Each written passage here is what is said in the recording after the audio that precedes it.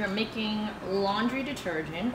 We are making laundry detergent. We've been doing this for about three years now, and we use it with all laundry, Yeah. and it gets a lot of stains out.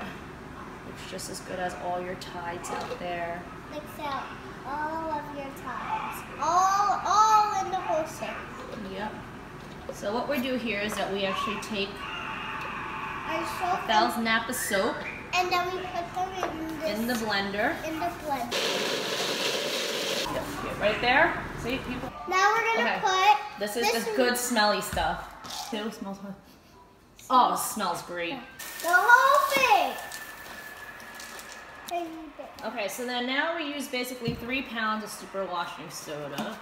No, it's baking. s- No, this Washing soda. washing soda. Yep. So this is washing soda. The whole thing in. Oh my gosh, it's so heavy. And then we use a whole box of borax, which is about four pounds.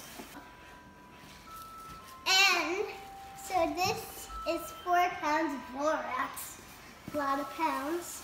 It's also white. Ooh, I almost dropped the bag. So this, ooh, it smells good. Ooh. Ooh. Ah. We're gonna put the rest of our baking soda. We use a lot, and we're gonna put the rest in. It's about three pounds. This is about three pounds. And the last thing that we put in here is our OxiClean. So it's gonna be a pretty a whole lot. Okay, ready? Our, this calls for a big Look how long this is. Look how long this is. Look how long this is. So we are gonna dig it up. Dig it Go up. slow, go slow. Woo! Guys, I know this. Actually, you know what? Do you want to show them what it looks like? This laundry this this this turns. So the total cost in all this was about twenty dollars.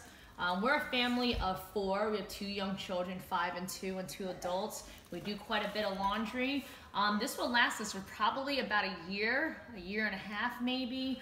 Um, and we do probably about a good five, six loads a week.